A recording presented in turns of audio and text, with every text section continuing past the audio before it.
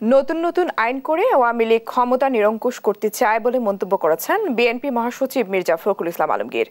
দেশে নাগরিকদের অধিকার নিশ্চিত না করে আওয়ামী লীগ রাজতন্ত্র প্রতিষ্ঠা করতে চায় বলেও অভিযোগ তার।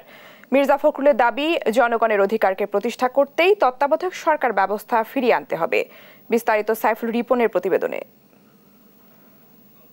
আওয়ামী সন্ত্রাসী দ্বারা নির্যাতন মঙ্গলবার রাজধানীর একটি হোটেলে ডিজিটাল নিরাপত্তা আইন গণতন্ত্র ও সাংবিধানিক কাঠামো শীর্ষক সেমিনারের আয়োজন করে বিএনপি। সেমিনারে বিভিন্ন সময়ে ডিজিটাল নিরাপত্তা আইনের অপপ্রয়োগে আইন শৃঙ্খলা বাহিনীর গ্রেপ্তার গুমের শিকার সাংবাদিক শিক্ষক রাজনৈতিক নেতাকর্মী সাধারণ মানুষ তাদের অভিজ্ঞতা তুলে ধরেন। আন্তর্জাতিক মিডিয়াতে একটি সংবাদ মানে একটি ডকুমেন্টারি প্রকাশ হয়েছে।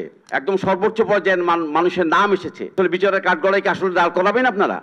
ডিজিটাল নিরাপত্তা আইন সহ বিভিন্ন কালা কানুনে দেশের সাংবাদিকতা চরম ঝুঁকির মধ্যে পড়েছে দাবি করে এ সময় বক্তারা অভিযোগ করেন, দেশের সাধারণ মানুষের কল্যাণে নয়, বরং নিজেদের ক্ষমতা টিকিয়ে রাখতে একের পর এক আইন করছে সরকার।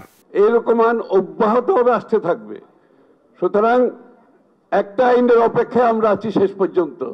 সেটা হচ্ছে বাংলাদেশের নাগরিকরা সরকার যদি সন্দেহ করে, তারা দেশের বিরুদ্ধে কোনো কিছু করতে পারে তারা ঘর থেকে আর বেরোতে পারবে না। কোনো আইন কিন্তু দেশের মানুষের মঙ্গলের জন্য নয় সকল আইন হলো এই সরকারকে ক্ষমতা টিকিয়ে রাখার জন্য।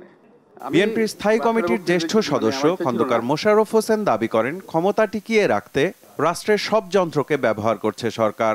সরকার দেশে একটা পরিচালনা করবে তাদের ব্যর্থতা। তাদের যদি ব্যর্থতা না হবে আজকে অর্থনৈতিক অবস্থা কোথায় গিয়েছে? এটার ব্যাখ্যা কে দিবে? এই প্রশ্ন করলেই যদি এটা রাষ্ট্রের বিরুদ্ধে প্রশ্ন হয় সেই দেশে আমরা আছি যারা মনে করে যে দেশের মানুষ কিছু বুঝে না। গতগুলো দেশের প্রধানমন্ত্রী পার্লামেন্টে যে বক্তৃতা দিয়েছে তিনি যে প্রধানমন্ত্রী তিনি বক্তৃতা দেওয়ার সময় সেটা মনে রেখেছেন কিনা সেটাই আমার সন্দেহ। আওয়ামী লীগ সরকার রাষ্ট্রের গণতান্ত্রিক আত্মাকে ধ্বংস করে দিয়েছে অভিযোগ করে দলের মহাসচিব বলেন সরকার দেশে গণতন্ত্রের পোশাকে ফ্যাসিবাদী শাসন কায়েম করছে। কীভাবে একটা জাতিকে পুরোপুরিভাবে আপনার দাস করে রাখা যায়, তারই প্রতিচ্ছবি এখন শুরু হয়েছে এখানে। সাংবাদিকরা যেন না লিখতে হবে তার ব্যবস্থা করা হচ্ছে।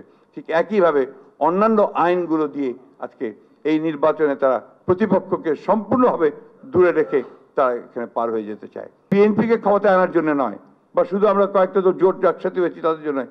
জনগণের অধিকারকে ফিরিয়ে দেওয়ার জন্য, তার ভোটের অধিকারকে ফিরিয়ে দেওয়ার জন্য আজকে অবশ্যই একটা নিরপেক্ষ সরকার, তত্ত্বাবধায়ক সরকার রাখতে হবে। এ সময় সারা দেশ জুড়ে আবারও দলের নেতাকর্মীদের গ্রেপ্তার নির্যাতন শুরু হয়েছে অভিযোগ করে আইন শৃঙ্খলা বাহিনীর পরিচয়ে রমনা থানা ছাত্রদলের সাবেক সভাপতি আশরাফুদ্দিন চৌধুরী অপুকে তুলে নেয়ার নিন্দা জানান বিএনপি মহাসচিব। সাইফুল রিপন দেশ টিভি ঢাকা।